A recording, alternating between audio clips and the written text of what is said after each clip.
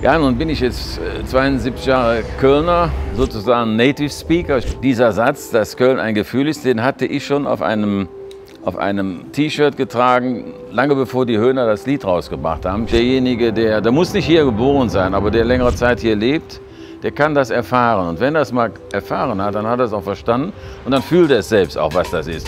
Das ist der Dom, das ist der Rhein, das ist der Karneval, das die Offenheit, die Toleranz dieser Stadt, das alles zusammen birgt in sich aber eine Gefühlssituation. Die muss man erfahren. Die werden Sie längst nicht in jeder anderen deutschen Großstadt so erleben. Das ist vielleicht ein Alleinstellungsmerkmal dieser Stadt, deswegen sind wir auch so gerne Kölner.